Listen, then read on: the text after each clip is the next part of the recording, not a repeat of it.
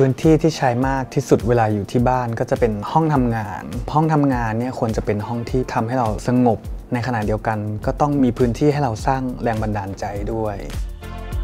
ห้องดังประสงค์ อยากให้เป็นห้องที่ใช้งานและพักผ่อน เวลาเราเดินเข้ามาในห้องนี้เนี่ยเหมือนกับเราเดินออกไปในสวนเซนเลย เข้าไปนั่งแล้วเหมือนกับเราใกล้ชิดธรรมชาติ สร้างบรรยากาศให้เราเกิดสมาธิ แล้วก็มีความผ่อนคลายสูงครับ ภารกิจนี้ยากไหมจริง ๆ อยากจะใช้คำว่าท้าทายด้วยระยะเวลาที่สั้น เต็มที่แน่นอน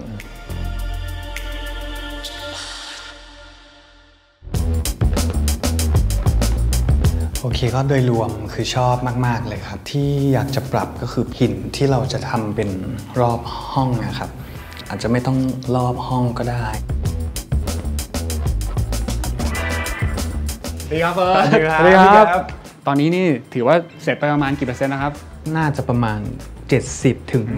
80 ใช่ครับ จะมีทั้งหิน แล้วก็มีต้นไม้ แล้วก็อีกอันที่มัน reflect เป็นน้ำตก ถือว่าเป็นงานที่ดูเรียบแต่ว่ามี detail ละเอียดมากๆเลย เดี๋ยวมารอดูกันนะครับตอน 100%ครับ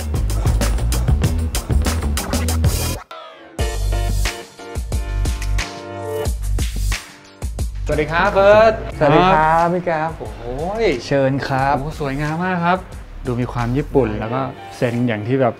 เฟิร์สต้องการเลยนะฮะพอห้องดั่งประสงค์ห้องนี้เสร็จเรียบร้อยแล้ว รู้สึกว่ามันตอบโจทย์เฟิร์สในแง่มุมไหนบ้าง เป็นห้องดั่งประสงค์ที่ตอบโจทย์มาก ๆ เป็นห้องที่ทั้งสงบทำงานด้วย แล้วก็สร้างแรงบันดาลใจด้วย เพราะว่าบรรยากาศแล้วก็ของที่เราเอามาใส่เนี่ยมันค่อนข้างครบกับความต้องการของเราครับแล้วนี่มีมีพรมด้วยนะเนี่ยพรมที่พี่จะรู้สึกว่ามันเป็นฟิลเหมือนแบบเวลาสวนเซนแล้วบางทีมันมีทรายที่มันเป็นใช่แพทมัเทินร์นนี้นะที่เป็นแบบเออคเหมือนร่าเขาวรูปลากมาอะไรอย่างงี้ลากเป็นสวนเออเซนก็จะมีแรงบันดาลใจมาจาก อันนั้นเลย อันนี้ชอบมากเลย พวกหินพวกอะไรเงี้ย มันทำให้ห้องมันเป็นธรรมชาติคือเอามาใส่เลยโดยที่ไม่ได้ดัดแปลงอะไร